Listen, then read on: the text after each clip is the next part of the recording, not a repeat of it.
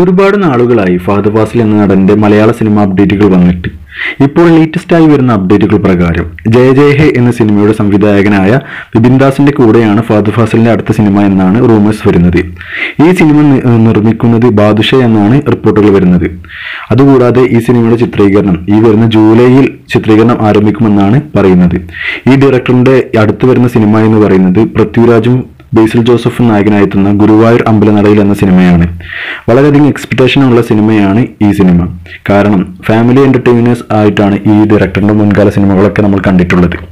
ഫഹദ് ബാസലിന്റെ ഇപ്പോൾ ഷൂട്ടിംഗ് നടന്നുകൊണ്ടിരിക്കുന്ന സിനിമ എന്ന് പറയുന്നത് അൽതാഫ് സലീമിന്റെ കൂടെയുള്ള കൂടെയുള്ള സിനിമയായ ഓടും കുതിര ചാടും കുതിര എന്ന സിനിമയാണ്.